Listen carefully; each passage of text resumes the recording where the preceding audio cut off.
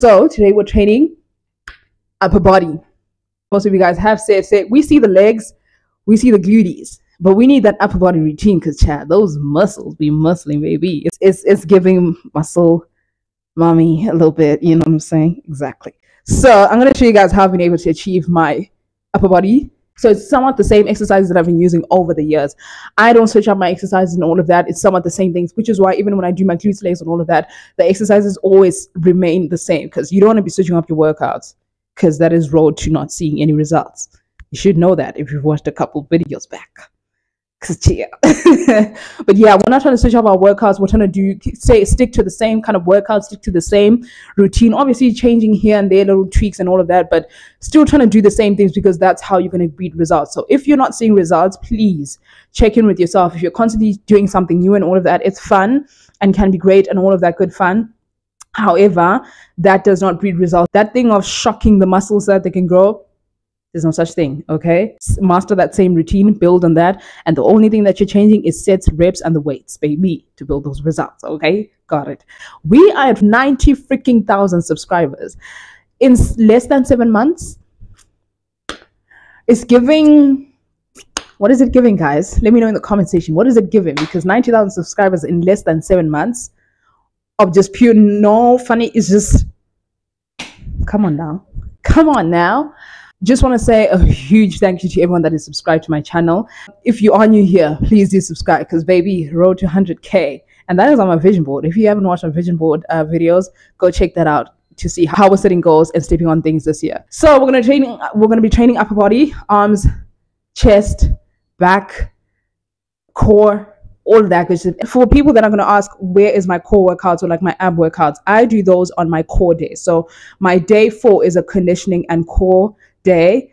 Let me know if you guys want me to record that, but it's a conditioning core day. I do have my cardio and core day, um, a video on that on the channel, so you can check that out. But I have conditioning and core, and which is where I then train my abs and my obliques. Abs are trained through most movements. When you're lifting and all of that kind of stuff, you're going to be training your core. You're going to, as well as it's important. In, training your abs and your core is important before stability. So for you to be able to do lifts and things like that, for you to be able to do even squats, for the lower body to perform well, your core needs to be on. So if you're not training your core, if you're not doing all that stuff, the core workouts, the core exercises, baby, you're gonna struggle. Okay, so that's how I train my core. So even when I'm performing lifts today that you're gonna see, because chat, I'm about to be on that lifting gate because our goal for this year is everything strong. That's how I'm trying to come through, baby. So um, yeah, we're trying to be strong this year. We're trying to that's what that's how we're moving in this year. So if you're all about that, you're on the right channel. If you're not, enjoy the entertainment. I train, isolate, do isolation movements for my core on my conditioning and core day.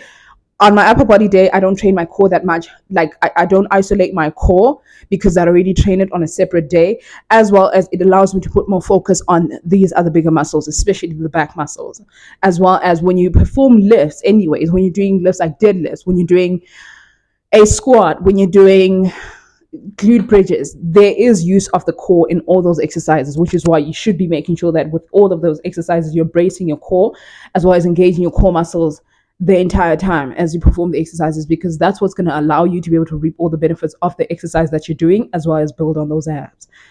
Period. Let's go work out. I'm rambling.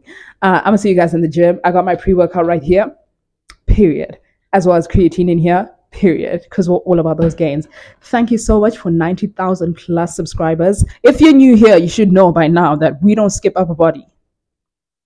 Get into it baby okay? We don't ladies okay? We're not skipping upper body. We're training chest yes. We're training back we're training traps. We're training my upper body make me bulky? Babe we don't even have the build to be bulky. We don't even have the hormones to be built bulky. The only thing that is going to do let me flex a little is make you look like this now, I'm not trying to toot my own horn. Built physique is just looking too good. So I want you to be on that. So we're training upper body just as hard as we train lower body. Let's get on those games. I'm gonna see you guys when we get to the gym. Let's go.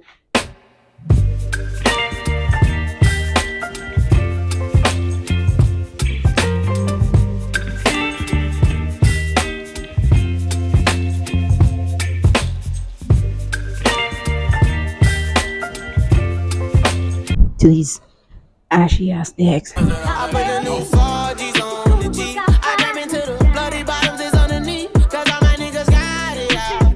You guys like my fit? It's all maroon, burgundy. Do you guys like it? I love it. I feel good.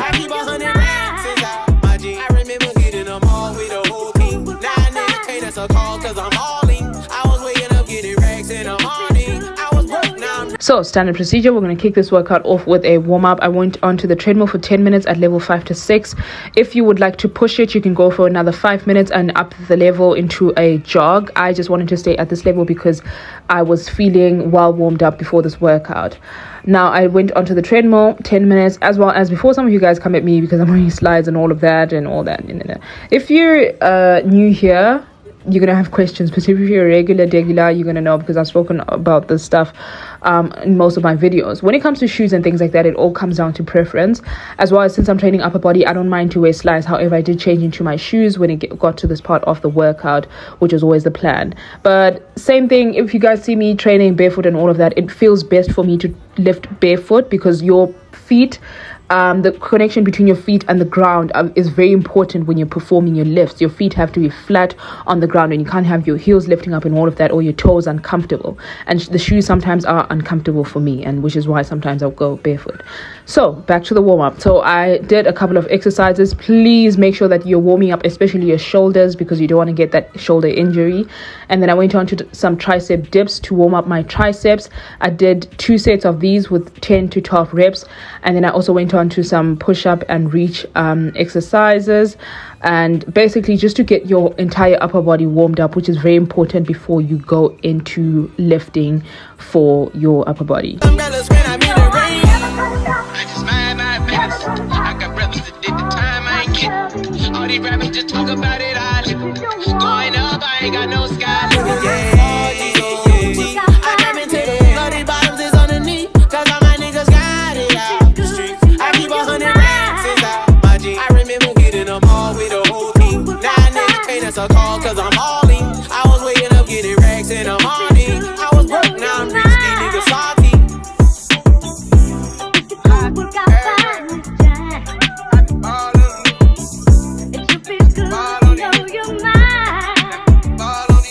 So to start, still within the warm-up, we did an aerobic exercise, very low impact.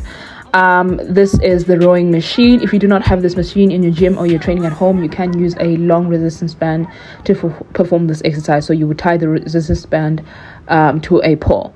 Now, this is a low impact uh, cardio exercise, and this is basically to warm up our upper body muscles. But this machine in itself um, trains most muscle groups, including your legs. But I think is a great way to get your um, heart rate up as well as to get your upper body muscles into the groove of what we're trying to do.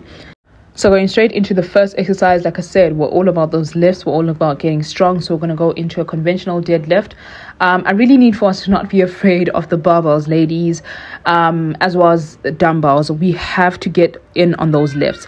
Now, in performing this deadlift, what you want to focus on is your upper body is mainly the way that I like to think of it. Your upper body is pulling and your lower body is pushing. So you want to think with my feet, I'm pushing the ground away, as well as you're using your upper body to create that force that allows you to lift. And so you want to lock in on your elbows and think elongate my arms before performing the lift and making sure that your hips are not too high or your hips are not lifting off before you lift the actual weight. And so, keeping and making sure that your elbows are aligned with your knees will allow you to be able to perform this correctly. This will force you to engage your lats in doing this movement, as well as you will feel a little bit of glutes as well as hamstrings.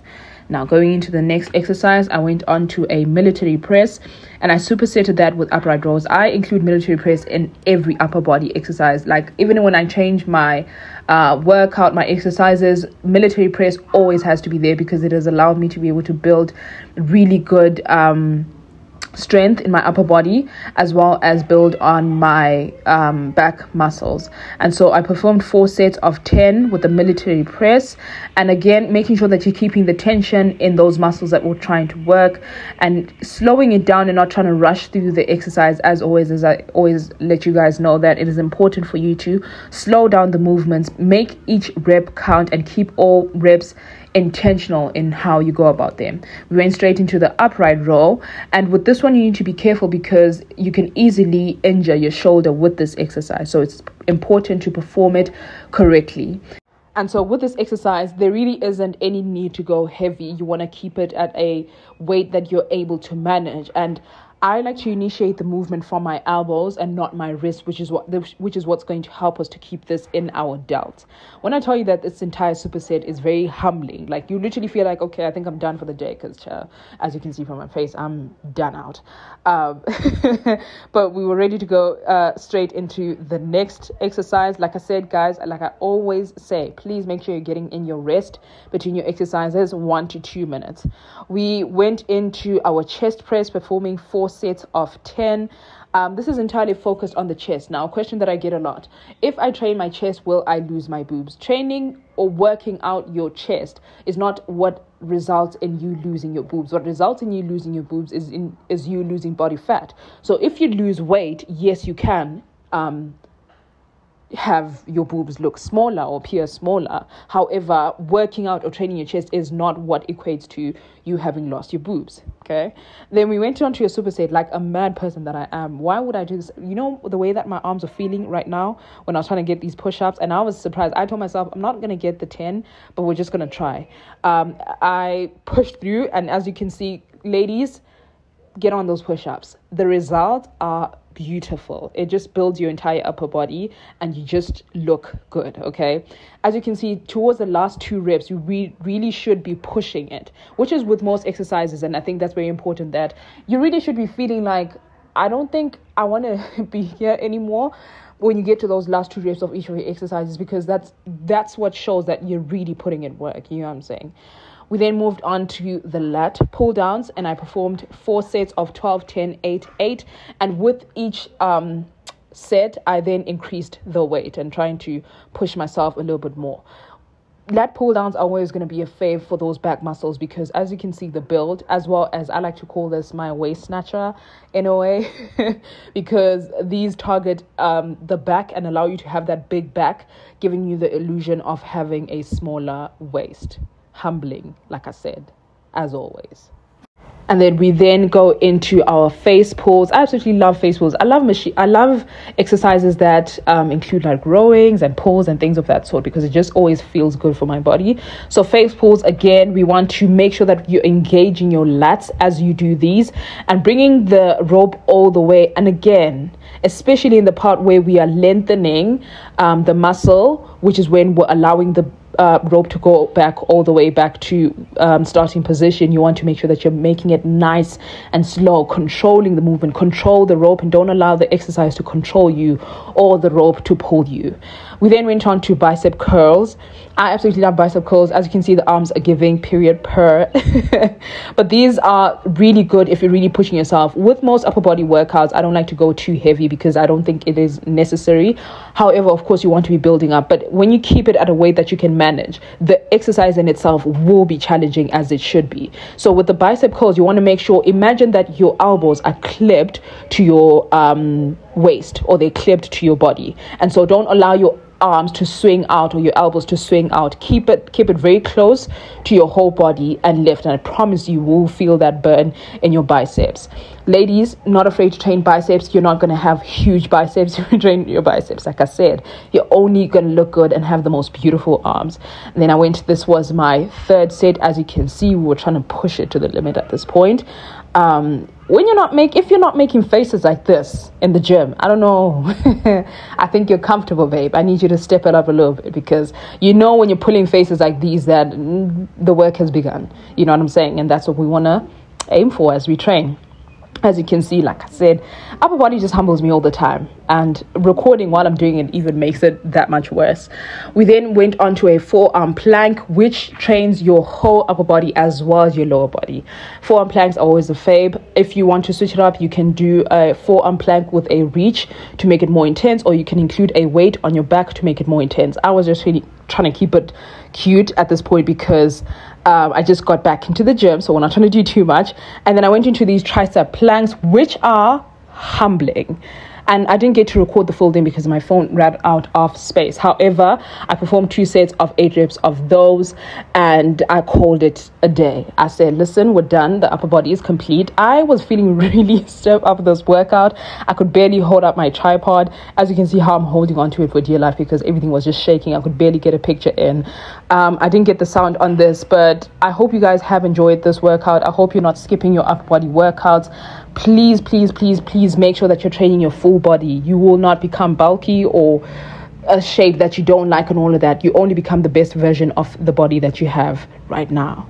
And that is the end of the workout. Thank you so much for watching. And please don't forget to subscribe. For those that do not know, I have two challenges running the Strong Era Challenge as well as the Applied Pressure Challenge. The Applied Pressure is 30 days, the Strong Era is 21 days. You can start it whenever you're ready. And let's get on that work. See you guys next Sunday.